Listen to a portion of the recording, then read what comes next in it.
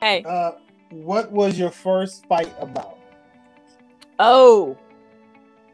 Hmm. A saucer.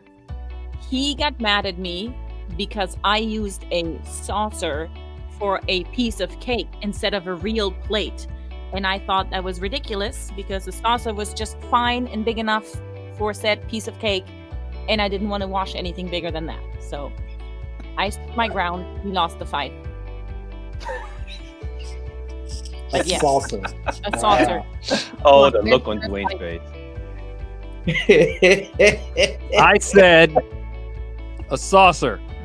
But, but, but, but, it was really about respect, and she did not understand that certain things have certain uses.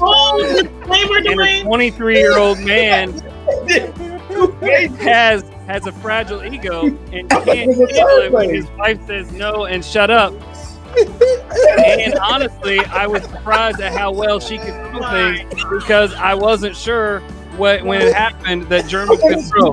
But I saw a side of her that day that scared Wow. me and, and and turned me on a little. But this is a clean show, so also accepted that.